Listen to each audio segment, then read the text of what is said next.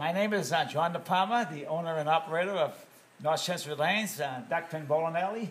Uh, I've been here since 1974. The machinery is uh, from the early uh, 60s, uh, over 55 years old. I've been bowling duck pins since 1972 as a pro bowler. I've been in a number of tournaments. Uh, I've won two of them. Uh, just recently, I've been elected into the uh, Duck Hall of Fame.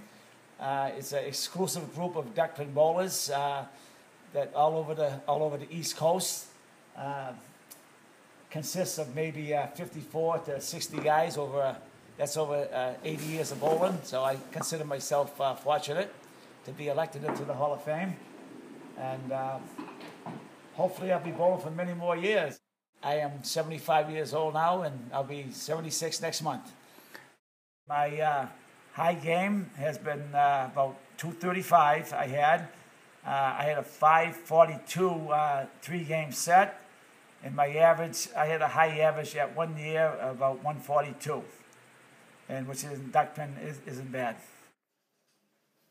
You make it do it what you got. You, you know, it's like Broadway, the show must go on. You got to keep the alleys running, and you got to keep them working, because anybody knows that a broken down alley is a a bowler's big disappointment. They don't want to be in a broken down alley, so I try to keep them up as best I can.